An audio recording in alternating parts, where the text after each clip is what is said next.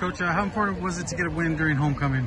Well, you know, you didn't want the kids to lose focus, and I thought our kids came out hot, you know, and um, it, our kids, you know, they kind of, I don't know, stepped on the gas pedal a little bit, I guess, in the first half, and you know, they um, did a good job of executing. It seemed like we, you know, there's nights you don't do things wrong, and tonight was one of those nights, I think.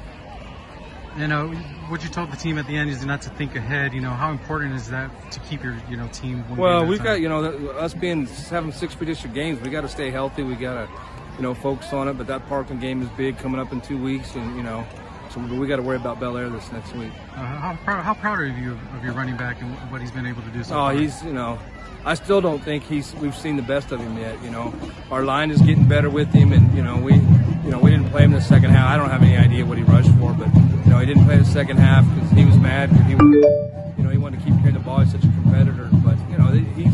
I think he's gonna before it's all said and done, he may be one of the best we've had.